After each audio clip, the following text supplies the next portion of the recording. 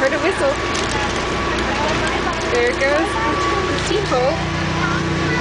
There goes the steamboat. That's nice right here. Oh, there we go. There we go. Sorry. Just getting little kinks worked up.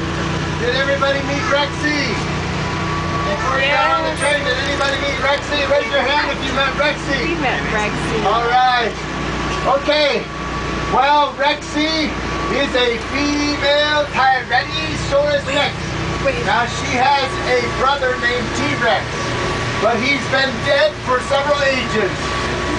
And so you might discover one of his bones somewhere along the way. But we're gonna sing you in honor of Rexy's brother a song called the T-Rex Express. Here we go. And there's a little part you gotta help me on. I'm gonna sing Do You Dig It? And you're gonna go I dig it. Alright? So here we go.